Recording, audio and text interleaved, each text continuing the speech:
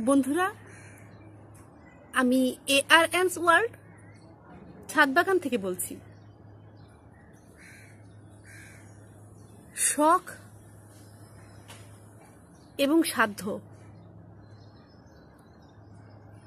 দুটো একই অক্ষর দিয়ে শুরু হলেও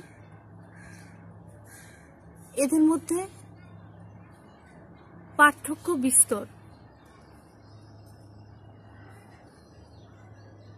শখের আবাসস্থল?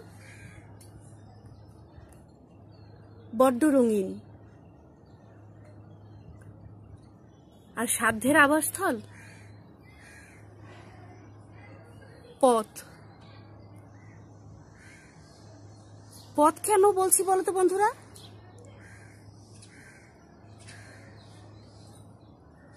আসলে এই পথেই রূপিত হয়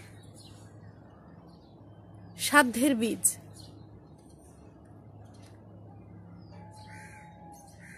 অর্থাৎ, এই পথেই তোমাকে কর্ম করে যেতে হয়।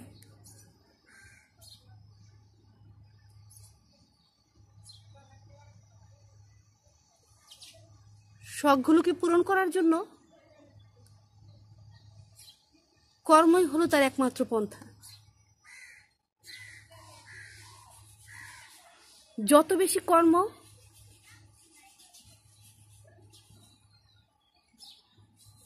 তত বেশি শখ পূরণের সফলতা।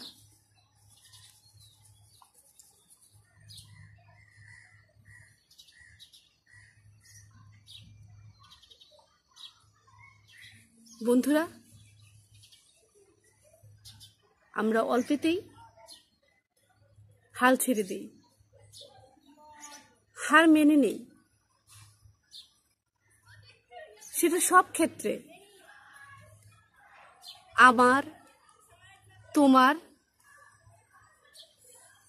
আমাদের সকলের ক্ষেত্রে।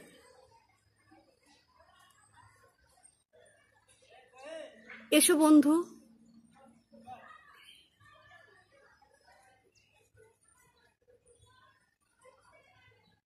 মনকে শক্ত করে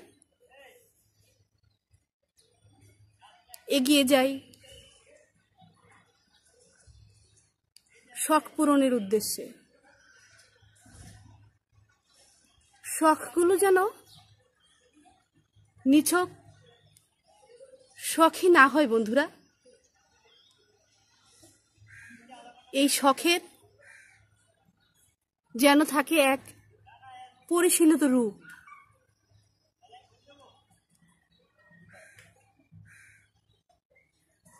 শখগুলো গ্রহণযোগ্যতা পায় সবার কাছে। নিজের জন্য শখ নয় বন্ধুরা। অন্যের শখ পূরণেই বেশি যেন আমরা নিবেদিত প্রাণ হই। তবেই কিন্তু বন্ধুরা, শখ এবং সাধ্যের মিলন হবে।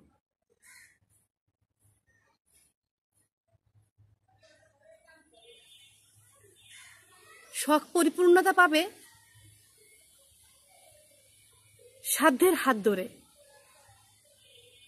আর সাধ্য পরিপূর্ণতা পাবে কর্মের হাত ধরে।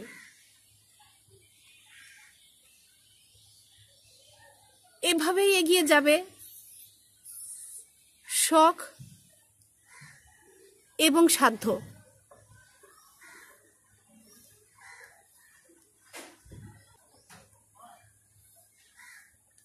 তাদের হবে এক পূর্ণ মিলন। যে মিলনে জড়িয়ে থাকবে অনেক অনেক ভালোবাসা।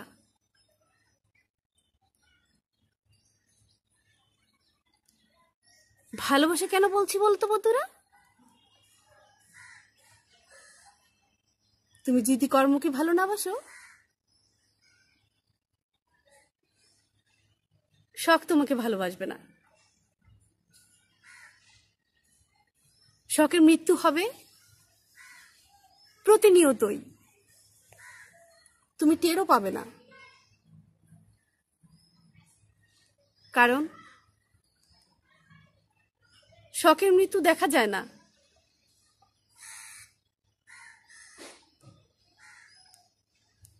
শখ ফানুস হয়ে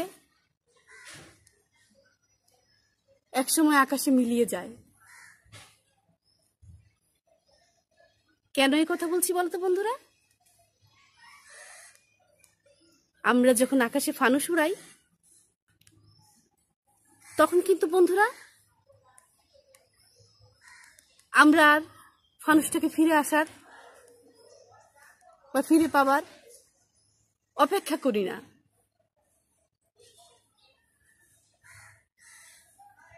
তেমনি সঠিক বয়সে, সঠিক শখ পূরণ না হলে সবকিছু তো ফানুসি হয়ে যায়।